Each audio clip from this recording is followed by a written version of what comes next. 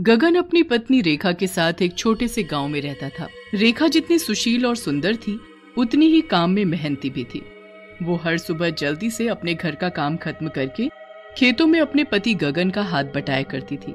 एक दिन की बात है, रेखा और गगन अपने खेतों में काम कर रहे होते हैं, कि तभी गगन रेखा से बोलता है, अरे भाग्यवान, जरा देखो तो हमारे पूरे खेत में कितनी हरी भरी सब्ज़ियाँ उगी हैं, और इस बार की भिंडी की पैदावार तो सबसे ज़्यादा हुई है, और ये सब तुम्हारी मेहनत और लगन का कमाल है।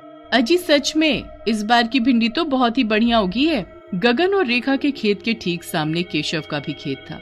उसने अपने खेतों में भी बहुत सब्ज़ियाँ उगाई हुई थी। कमला गगन की हरी हरी सब्ज़ी देखकर केशव से बोलती है, अजी, तनिक उधर गगन के खेत में तो देखो। अजी, ऐसा लगता है गगन के खेत में भिंडी की बरसात हो गई है।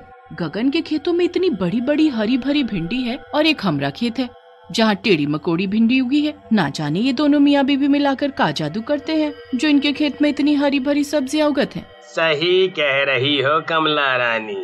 अरे जितनी सुंदर ये रेखा है उतनी ही सुंदर इसकी भिंडी है। अजी का कहा आपने? तनिक दोबारा तो बोलिए। अरे मेरी रानी मैं तो उसकी भिंडी की तारीफ़ कर रहा था बस। और तुम हो कि खाम खा बौखला जाती हो। अरे, उसकी भिंडी की तारीफ़ करना बंद करो और ये सोचो कि अब हमरा का होगा। सभी गाँव वाले तो उसी के खेत की हरी हरी भिंडी खरीदेंगे ना? फिर केशव अपने खेतों की भिंडी टोकरे में भरकर गाँव में बेचने के लिए जाता है। वहीं दूसरी ओर गगन भी गाँव में भिंडी बेचने के लिए निकल जाता है। गगन की भिंडी बहुत ही अच्छी थी और उसके दाम बहुत ही कम थे, जिस वजह से गगन की सारी भिंडी कुछ ही देर में बिक गई थी। वहीं केशव की भिंडी के दाम ज़्यादा होने की वजह से केशव की एक भी भिंडी नहीं बिकी थी। केशव भिंडी से भरा टोकरा लेकर वापस घर आता है जिसे देखकर कमला बोलती है अजी ये का? ये भिंडी से भरा टोकरा वापस घर कहा ले आए? अरे का बताए कमला रानी इस गगन की वजह से हमारी एक को भिंडी नहीं बिकी। अजी अगर ऐसे ही रहा तो हम दोनों के खाने के लाले पड़ जाएँगे हाँ। ऐसे ही कुछ दिन बीत जाते हैं। गगन की भिंडी की बिक्री ज़्यादा से ज़्यादा होने लगती है, वहीं केशव की सब्जियों को कोई पूछता तक नहीं है। एक दिन कमला गुस्से में अपने पति केशव के साथ गगन के खेतों में जाती है और गगन से बोलती है, क्या बात है गगन भाई? बहुत खुश दिखाई दे रहे हो? हम्म और रेखा, तनी हमका ये बताओ कि तुम दोनों मियाँ बीवी मिलकर अपने खेतों में का जादू टोना करते हो, जो तुम्हारे खेत की सब्ज़ियाँ खासकर ये भिंडी, इतना बढ़िया होगी है? एक हमरे खेत की भिंडी देखो ना। ना जाने कैसी ढेड़ी मकोड़ी होगी है। अरे कमला बहन, हम कोई जादू टोना नहीं करते हैं। हम तो सिर्फ़ मेहनत करते हैं और बड़ी प्यार दुलार से अपनी सब्जियों के पौधों की देखभाल करते हैं। ओ हो हो हो तुम अपने पौधों को प्यार दुलार करती हो तो हम का अपने पौधों को मारते पीटते हैं? हम्म अरे कमला बहन, आप अपने खेतों में केमिकल वाली खाद डालती हो तो क्या ये बहुत अच्छा काम करती हो?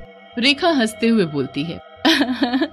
अरे ये केमिकल वाली खाद की वजह से ही तो तुम्हारी भिंडी की शक्ल ऐसी टेढ़ी मकोली है। एक मेरी भिंडी को देखो कितनी बड़ी और हरी हरी है हाँ?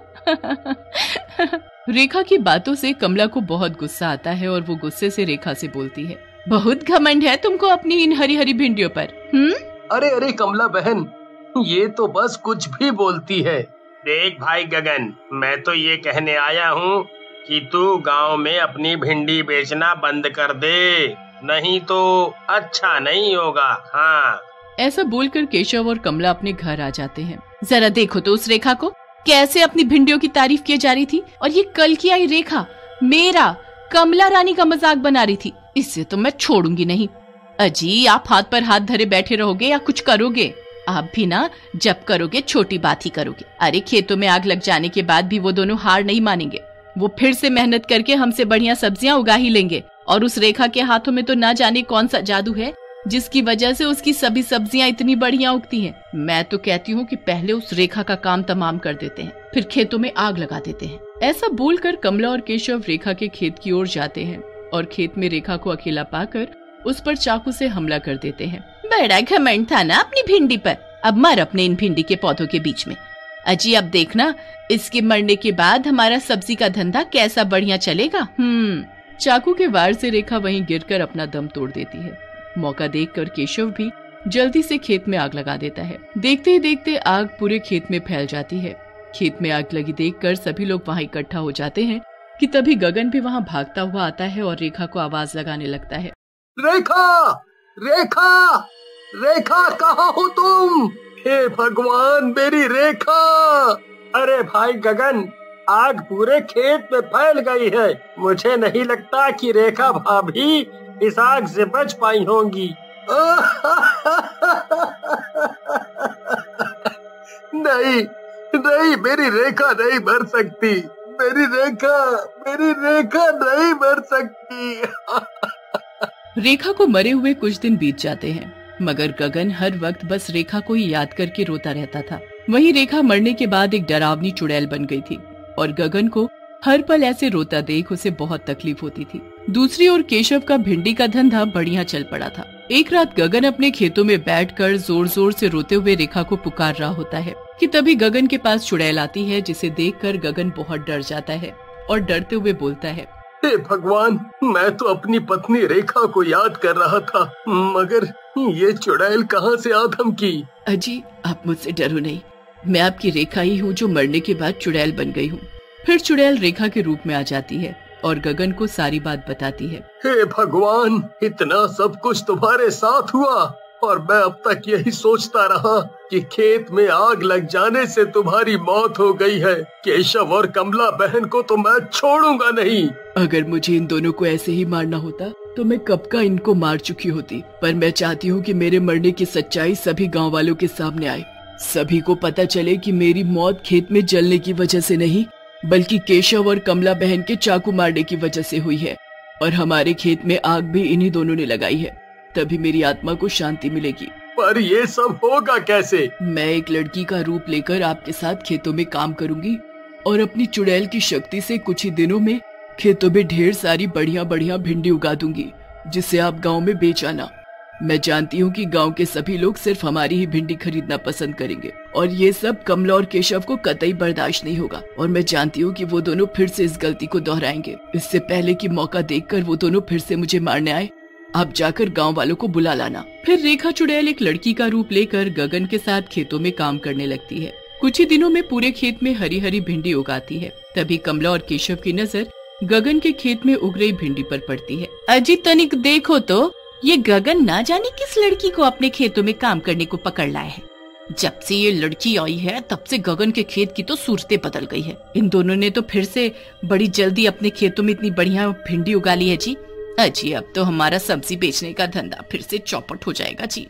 अरे मेरी कमला रानी, तुम काहे को इतना परेशान होती हो, हैं? अरे, जैसे उस रेखा को हमने अपने रास्ते से हटाया है, वैसे ही इसे भी हटा देंगे। और इस बार इस गगन के खेत में ऐसे आग लगाएँगे कि दोबारा सब्ज़ी उगाने की सोचेगा भी नहीं। अगले दिन रेखा चुड़ैल गगन से बोलती है, अजी, आज दिन में मैं अकेले खेतों में काम करूँगी। आपको सब पता है ना कि क्या करना है? फिर दिन में जब रेखा चुड़ैल एक लड़की के रूप में खेतों में अकेले काम कर रही होती है तो मौका देखकर कमला और केशव चाकू लेकर उस लड़की के पास जाते हैं और उसके पेट में चाकू घोप कर उसे मार डालते हैं। तब तक गगन भी गाँव वालों को कमला और केशव की सच्चाई बताकर अपने साथ खेत पर ले आता है। अरे अरे अरे अरे, तुम सब गाँव वाले यहाँ कैसे आ गए? अरे, हमने कछु नहीं किया। तभी वो लड़की अपनी आँखें खोलकर उठ खड़ी होती है और चुड़ैल के रूप में आ जाती है। क्या कहा तूने? कि तूने कुछ नहीं किया? अरे जैसे तूने रेखा को मारा वैसे ही तूने इस लड़की को भी मार डाला। अरे मर गए रे। ये लड़की तो मरते ही चुड़ैल बन गई। अजी अब हमरा का होगा जी? अरे चुड़ैल जी हमने कछु नहीं किया है हाँ। चुड़ैल गुस्से से बोलती है। क्या कहा तूने? कि तूने कुछ नहीं किया? तुम दोनों ने रेखा को मारकर उसके खेत में आग लगा दी। और कहती है कि मैंने कुछ नहीं किया। अरे ये ये ये ये, ये, ये तुम कहा बके जा रही हो? हमें नहीं पता कि वो रेखा कैसे मरी और खेत में आग किसने लगाई। चुड़ैल गुस्से में आकर कमला का गला पकड़ लेती है। मैं ही रेखा हूँ जो मरने के बाद चुड़ैल बन गई। और तू बोलती है कि तूने रेखा को नहीं मारा। अरे चुड़ैल जी हमारी बीवी को छोड़ दो जी।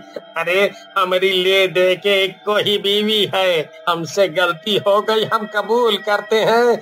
कि हमने ही रेखा को चाकू घोप कर मार डाला और फिर पूरे खेत में आग लगा दी। केशव की बात सुनकर सभी गाँव वाले केशव और कमला को पकड़कर कड़ी से कड़ी सजा देते हैं। उन दोनों को सजा मिलते ही रेखा की आत्मा को शांति मिल जाती है और वो हमेशा के लिए वहाँ से चली जाती है।